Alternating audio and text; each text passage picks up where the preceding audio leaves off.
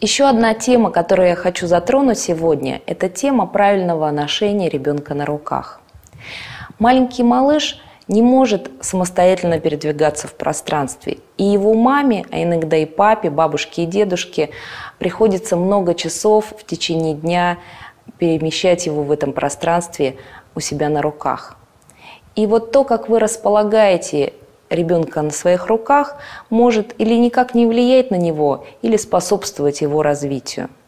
И ведь это очень просто, поскольку те упражнения, которые мы э, вам предлагали, э, им нужно уделять особое внимание, повторять это несколько раз в день, э, продумывать те условия, в которых вы занимаетесь с малышом. А ведь наши, носите на руках вы в любом случае, и правильно располагая, вы можете помочь своему ребенку правильно развиваться.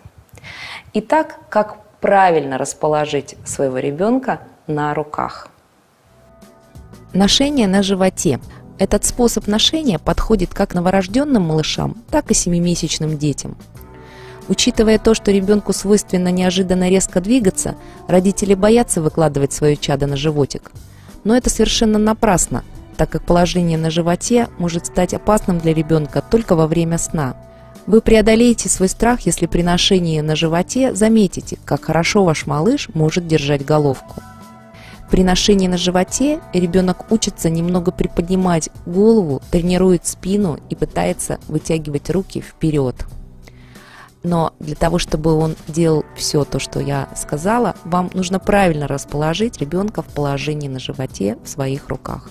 Руки ребенка лежат на вашем локте и на повернутом под углом немного вперед предплечье. Живот малыша вместе с нагрузкой всего туловища лежит на другой вашей руке. Обе ноги младенца остаются свободными – Обратите внимание на то, что локти ребенка находятся перед плечами, а руки выступают еще дальше.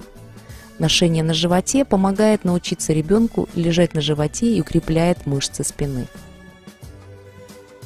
В таком же положении, что и при ношении ребенка на животе, вы можете положить его к себе на колени – так вы можете легко в игровой форме научить ребенка такому трудному и требующему больших усилий упражнению, как переворачивание на живот.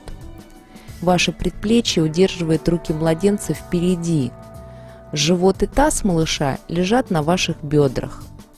При таком положении руки ребенка должны находиться выше уровня его таза – это достигается тем, что ваши бедра расположены на разной высоте из-за того, что одна нога лежит над другой.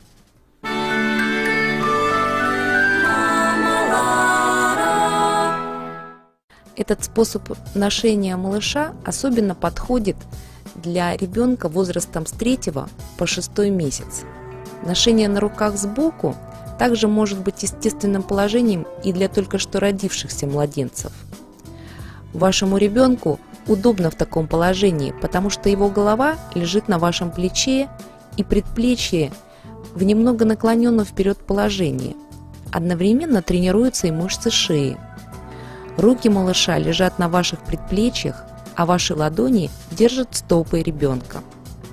В таком уютном гнездышке ваш малыш чувствует себя вашим младенцем и одновременно может рассматривать свои руки, ноги и играть с ними.